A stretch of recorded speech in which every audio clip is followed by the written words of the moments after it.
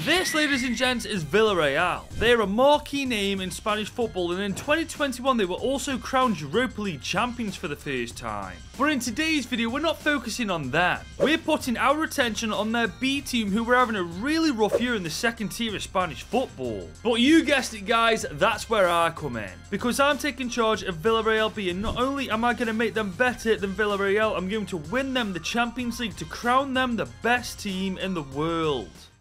So this is the starting 11 we've loaded into with the B team of Villarreal. And let me just tell you something. Whilst on paper it doesn't look like anything special, this team has got so much potential. It's ridiculous. I mean, these are the highest rated players in the starting 11. And the oldest player is 25 years old, man. How young is this team? It's normally at this point I tell you who we can try to build this team around. But honestly, every single player almost in this entire squad is eligible for that to happen, man. There is so much potential in this team. The only down downside is there's a couple players on loan to us, and if we do want to bring them into the team on a permanent deal, it will cost us quite a bit. Is we've only got 3 million in our budget in season 1, and in fairness, guys, when you think about it, that's not that bad at all. So like I said, guys, whilst on paper this team doesn't look that special, it has got so much potential, it's ridiculous, and under my management, I'm going to make sure that these players fulfill their potential and then some. But not using the 4-4-2, guys, we're using the 4-3-3 attacking variation instead. And we are once once again going to use wing play because honestly, after going through the team, our wingers are probably the best and strongest players in the entire team.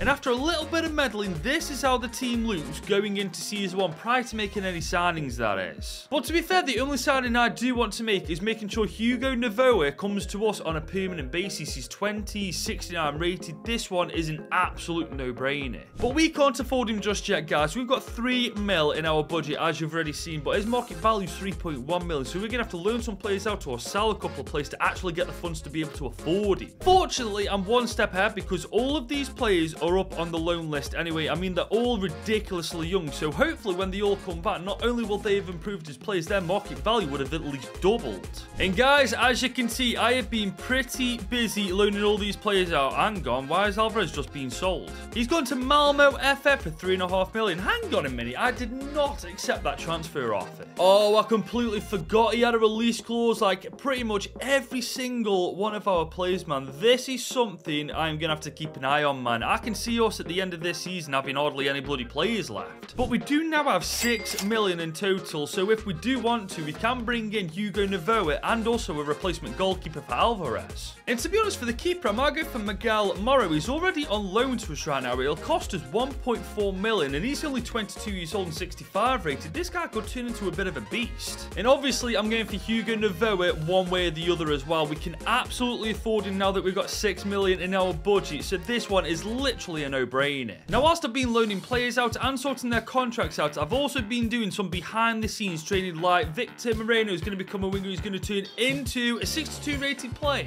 I also turned Rodrigo into a cam, however, his overall hasn't changed. I've trained Hugo Novoa to become a winger too. He's going to go up to a 71 rated player. He cost us like, what, 3 million? And finally, I've trained trained Thiago Jose Giralnet to become a winger. He's going to turn into a 62 rated winger. That's a little bit disappointing. But that's all I can do before I send these boys off into Season 1. And to be honest, I think we've done a damn good job. This team looks pretty damn decent already. But if I'm being honest, I don't really care how we do in Season 1 because Season 1 to me is just about laying the foundations for success for the future of Villarreal B. But having said that, I do not want to be where they are in real life. Rock bottom. I mean, if we can beat that, then I'll be happy.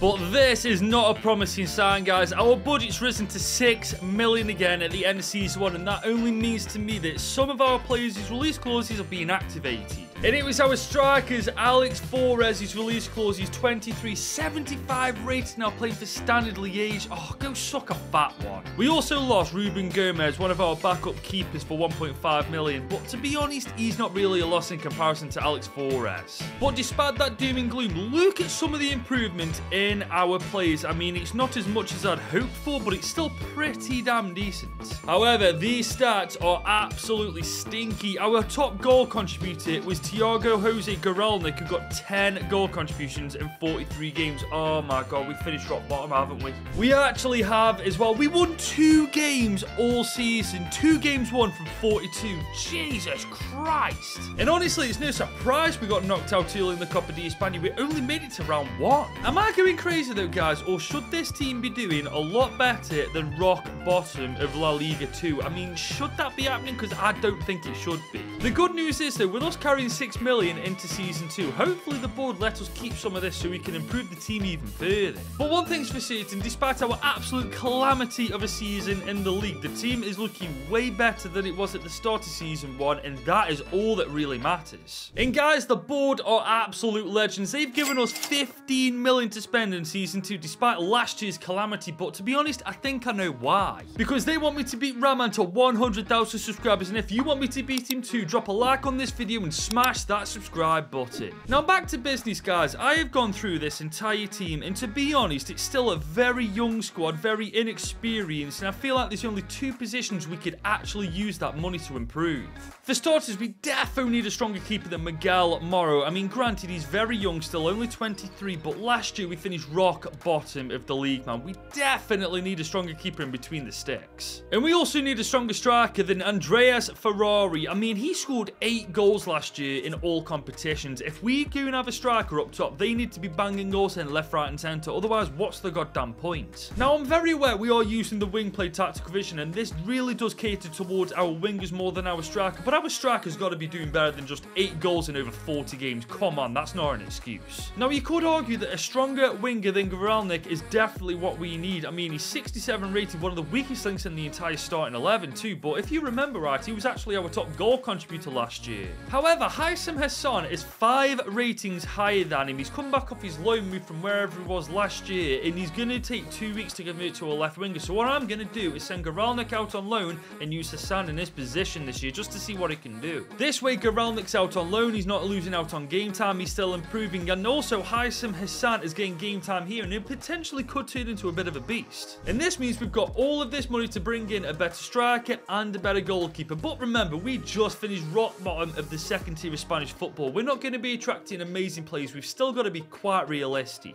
But I have found LAFC's Matias Burgos, 22, 71 overall. I have almost certainly butchered his name, so I do really apologise. But this guy looks like a pretty damn good player. And I've also found Juan Soriano from CD Tenerife, who can play in goal. He's 26, he's 74 rated. He's levels above Miguel Morro, man. This one is literally the smartest move we can make. I just really think they're worth it, guys, as we've just spent a whopping 10.4 million pounds combined to bring these both to Villarreal B. And whilst the transfers went through, we completed the Sands training to become a left winger, and as you can see, he's gone up to 74 rated. We definitely made the right move with this. Because look at this team going into our second year in charge of the man. I'm just pointing this out there. If we somehow actually finish rock bottom yet again, there's something seriously wrong, man. We've absolutely got to do better. And if our players' ratings are anything to go by, we certainly have. Look at the improvement this year. Now, this is much more like what I was expecting last year, to be honest. I absolutely feel like we've cleared La Liga 2. And this time, the stats actually complement the improvement in the players. 18 and 3 for Hugo Novoa in 18 and 9 for our new striker, Matias Burgos, who I've still butchered his name. I really do apologise. However, I don't think we've made the playoffs. It's a very goddamn good team, don't get me wrong, but is it La Liga ready? I don't think it is quite yet. But then again, I could be very mistaken. We are in the playoffs alongside with Valladolid, Granada, and Elche. But Real Valladolid did knock us out in the semis of the playoffs, 3-1 on aggregate. I mean, I did technically call it, guys. We're a very good team now, but we're not quite ready for that next step. And we still can't make it out of round one in the Copa de España either. That just proves my point. However, next season, we may just be ready. I mean, if we get a better central attacking midfielder than Rodrigo, improve our defense a little bit, the rest of the team seriously doesn't need any improvement. We can just let them carry on as they are. And with us having 5 million left this year, year to take into season three. Who knows? Maybe we'll have what happened last year and get a bigger budget again. And I was right, guys. 23 million euros is what we got to spend in season three. And surely to God, with this money, we can finally push for promotion. Now, I've been through all of our players' development plan, and there's only two positions that actually make sense to try and improve. The first position being our right back, where Lanchi plays. As you can see, it'll take him 49 weeks to become a better right back. I mean, granted, he's 24 years old, but that simply isn't good enough.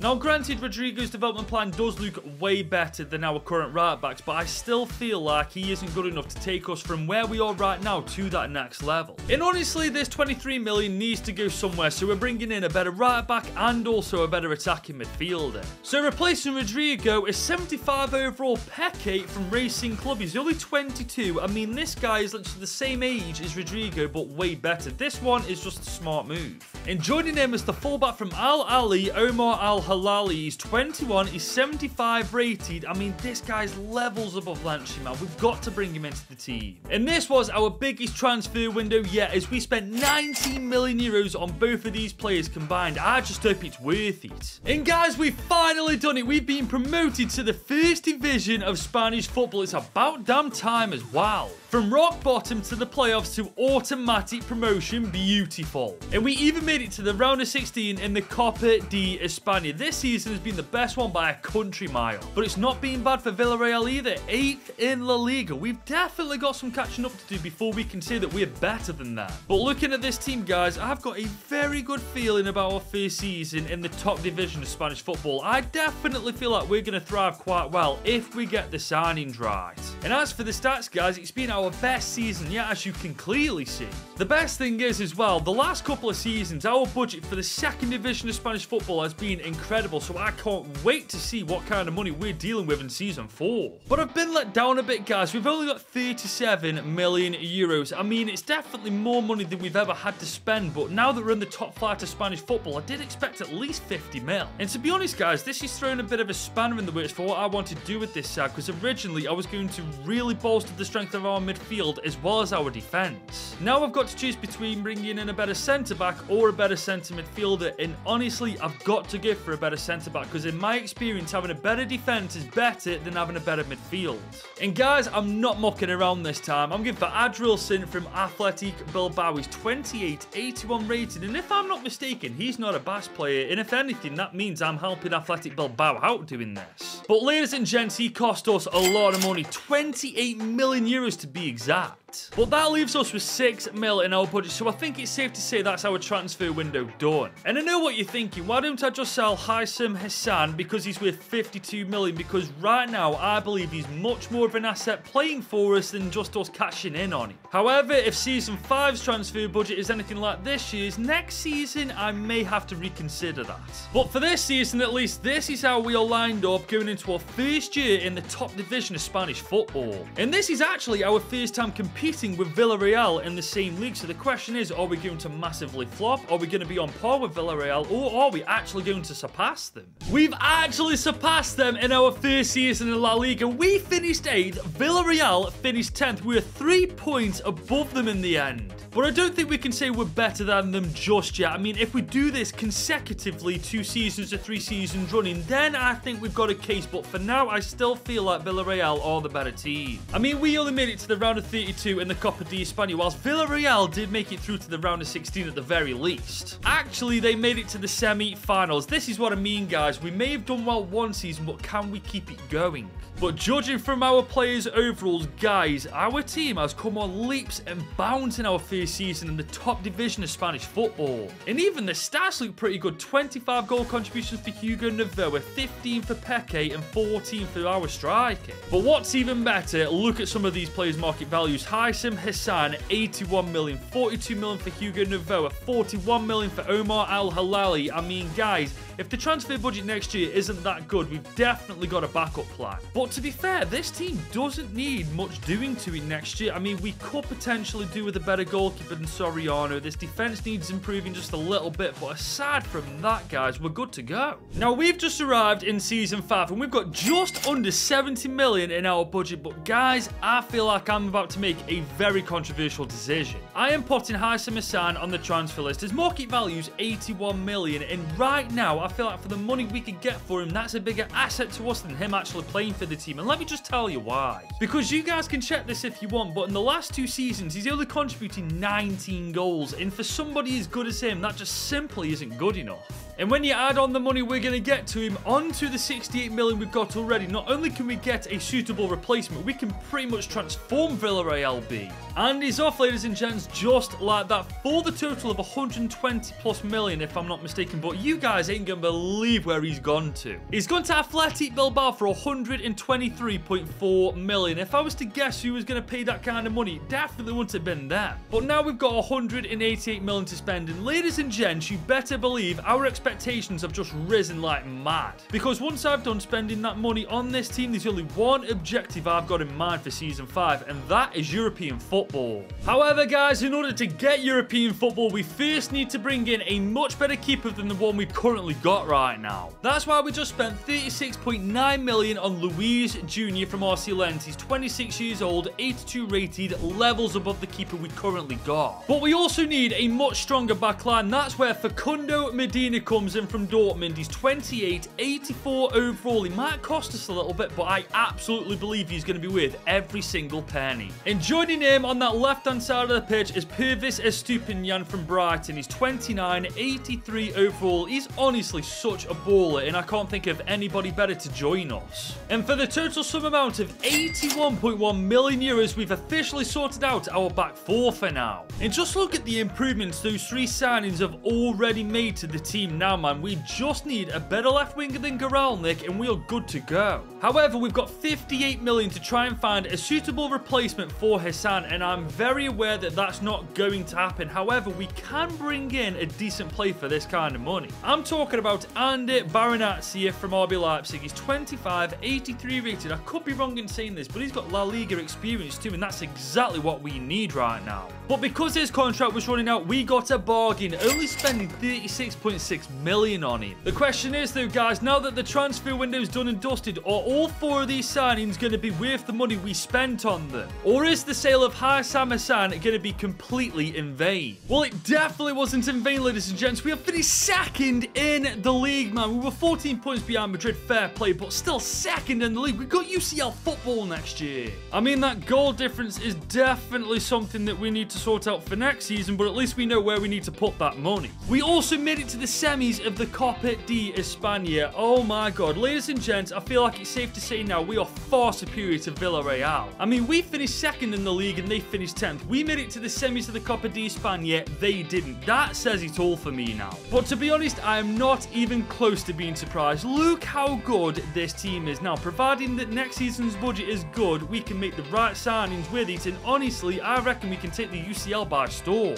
And the stats are just as good, if not better. 25 goal contributions for Hugo Novoa, 16 and 3 for our striker, 19 for Peke, and 20 goal contributions for Ander Barrenetxea. And what makes this even better, Barrenetxea actually got more goal contributions in one season with us than Hassan did in the last two. At the start of the season, I was expecting Europa League football or Europa Conference League. I did not expect the UCL. I mean, now looking at the team, I can fully see why we've got it, but at the start of the season, I wasn't too sure. And it looks like Real Madrid are the team to beat in every competition. They won the La Liga Liga title, they won the Copa de España and the UCL. So if we are serious about becoming the best team in the world with Villarreal B, these are the team to beat. Well, there's that old saying, isn't there, guys? When you get Champions League football, you get that Champions League money. We've got 178 million. And honestly, with this kind of money, we can take the Champions League really seriously this year. But we will have to be quite ruthless with that money because I'm thinking a better centre-back than Adrielson, a better centre midfielder than Morel, and a better striker than the guy whose name I still cannot pronounce. They're all good players, don't get it twisted, I just don't think they're good enough in the UCL. Victor Boniface, however, is certainly good enough for the UCL. He's 27, he's 86 rated, he's 6 foot 3, and he's playing for the Bottle Jobs. We've got to save him from that dead club. And following him in that midfield is Javi Guerra from Sassuolo. He's 25, 85 overall, and just like Boniface, his contract's actually running out. We got so lucky with these pair. But I didn't realise how lucky I was as we've only had to spend 113.8 million combined to bring in two world-class players. I mean, just look at this team now, man. Boniface and Guerra in this starting 11 has improved the quality of it so much. And we've still got 50 million to bring in a better centre-back than Adrielson, remember. We can't forget about that. And I want to bring in Castello Luke Bar. He's only 25, 85 overall. The problem is he's worth between 77 and 61.6 million. So if this deal is to go through, I feel like we've got to give them somebody in return too. So I'm going to offer them Adrielson alongside 40 million. It just makes sense considering Adrielson's the player I want to replace him with anyway. Come on, Poch, accept this first time. You want a bit more money? Oh, come on, man. Play the game.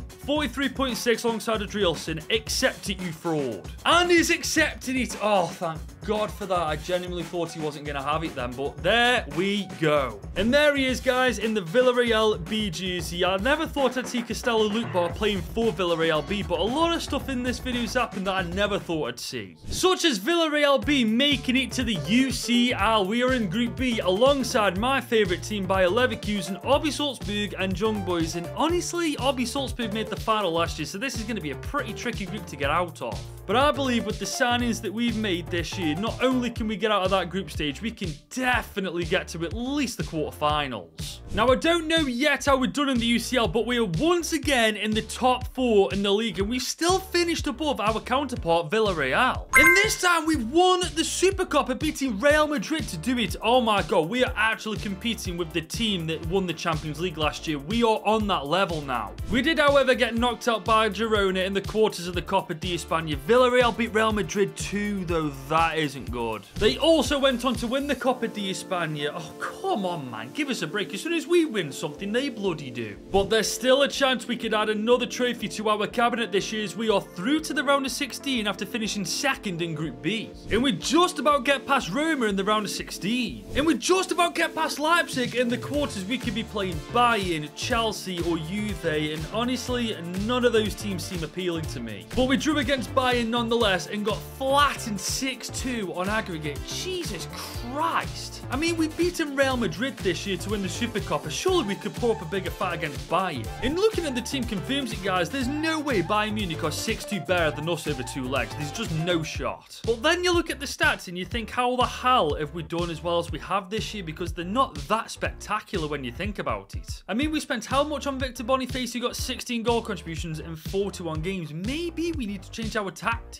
I mean, originally we used wing play because our wingers were the best players in the team. Maybe we should consider using the gegenpress now because the entire team is actually world class at this point. We're going to give it a go for a season. All I know is that going into next year, we are going to have to be insanely ruthless by the looks of it if we want to go to that next level and win the La Liga title and, of course, try to win the UCL. But ladies and gents, as we head into the new season with Villarreal B, I have just signed a player that is absolutely going to take us to that next level. We've just spent 150 million euros to sign Arda Güler on a five-year deal, a former Real Madrid wonder kid in this career mode say now is a Villarreal B wonder kid. Now this leaves us 80 million in our budget from the original 235 and if possible I'd like to bring in a better centre midfielder and a goalkeeper. As you can see they are both the weakest links in the starting 11 now. If I can't replace both of them 100% I'm going to bring in a better goalkeeper. So let's start with the goalkeeper shall we? Ederson is who I'm thinking. Granted, he's 35 years old, but he's 88 overall, and he's actually won the Champions League, and we need that kind of experience in the team. And because Ederson is only two or three years away from retirement, we only had to spend 70 million on him. And finally, the midfielder I want is Matt O'Riley from Newcastle. He's worth between 79.9 and 63.9 million, though, so if we are to make this deal happen, we are going to have to give Newcastle a player of our own. So I'm offering our backup Cam Rodrigo alongside 45 million. I might be overpaying a little bit here, but honestly, I don't care if we can sign him. And that has worked a treat. Eddie Howe has said yes, and we have got Matt O'Riley services. And there he is, guys, in the starting 11. And may I just say, now that we have brought in a world-class goalkeeper, a world-class centre midfielder, and a world-class attacking midfielder, I don't see what stops us from not only winning the La Liga title, but winning the UCL this year. And speaking of the UCL, we're in Group H alongside Chelsea, Sport Sporting and Djurgården's IF and honestly, it's got to be ourselves and Chelsea going through to the knockouts, and it's surely to God.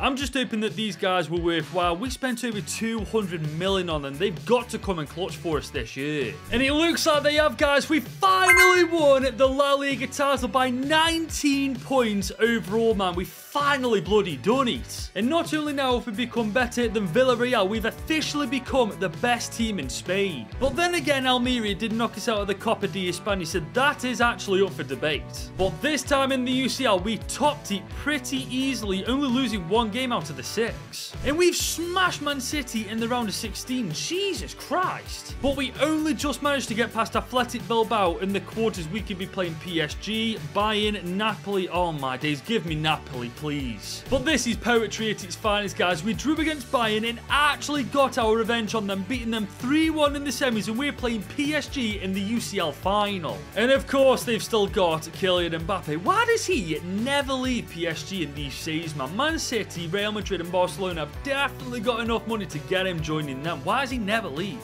But I have to admit, the stats do look better this year. 22 in 5 for Hugo Novoa, 20 and 4 for Boniface, and 26 goal contributions for our centre midfielder, Matt O'Riley. Jesus Christ. It looks like moving to the Gegenpress tactical vision was the right move, as this is the team going into the UCL final. 36 years old, by the way. Ederson is still 87 rated. This guy's a madman. And up to this point, guys, we have done everything we've wanted to with Villarreal B. We've got promoted with them. We've become better than Villarreal. We are the best best team in Spain now as well. But the next 90 minutes will determine who the best team in the world is, and funnily enough, that's our last objective to complete. Pervis Estupiñán. is on the ball, he's against Malo Gusto, we've won a corner. Arda Güler to take. Can we get a ball? That's a great delivery, and Victor Boniface, the absolute giant, makes it 1-0 inside 20 minutes. What a goal! I proper rejected Boniface in the Leverkusen takeover I did, but I give him a chance in this video with Villarreal B, and look what he does in the final. But here come PSG. That's a great block from Luke Boris. Still, hang on. What the hell's that? That's never a penalty, surely. Here come PSG, though. Kylian Mbappe's on the ball. Can we put a tackle in? Yes, we can. Good stuff.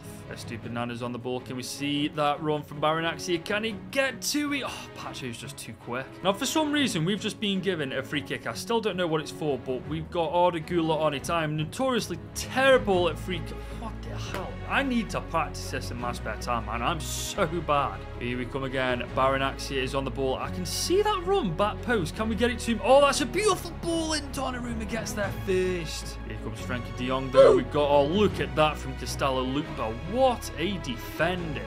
Second half now, and we are officially 45 minutes away from making Villarreal B the best team in the world. But here we come with Baranaxi. He could make it 2-0. Oh, he almost does. We got the second chance. There we go. I can't remember his name. Hugo Novoa, I think it is. Makes it 2-0 inside the 50-minute mark. Oh my days, just as I'm talking about making Villarreal B the best team in the world, this happens. Hugo Novoa pounces on that, and it's just like that, 2-0. And here we come again with Novoa. Can we spot that run from Arda Can he get there? And here we go. Played some nice football down this right hand side. We're going to come back. Novoa is there. Back post. Oh my days. If Donnarumma wasn't so big, that was going to be 3-0 every day of the week. But we could still make it 3-0 from this corner. We've already scored one. Can we score two? Oh my god, no way. Oh, you jammy git. Barrenetxea is on the ball. He's on the right hand side. I'll tell you what, let's have a dink from distance. Oh, we've just hit the post again. Why can't we just bury them? Well, here come PSG. Nope. That's a great corner. Oh my god, that's one of the best saves I've seen on this game so far in FC 24. That was outrageous. Look at this from Ederson, man. That is genuinely insane. Fair play to him. 36 years old, one of the best keepers in the world, and that's just proved it as PSG go short with the corner. They've tried to dink it in, and once again, look at that for a save. Oh my god. Here we come on the counter-attack. Guerra is going to spot Novoa. Novoa is going to come inside. Boniface is there. Surely this is game done and dusted. There it is. Villarreal B are officially the best team in the world. I don't care what happens in the next 15 minutes. PSG are not scoring four goals. Victor Boniface making a name for himself on this channel, man. And there is the full-time whistle. We have completed our mission with Villarreal B. We've beaten PSG 3-0 in the Champions League final to not only cement them as the best team in Spain, but the world's best club. We took charge of a Villarreal B team who literally finished rock bottom in Season 1, and we took them from there all the way to being the best team in the world by season 7. But as I've said, that means our job with them is done. But if you enjoyed this video, you should definitely click here to watch this.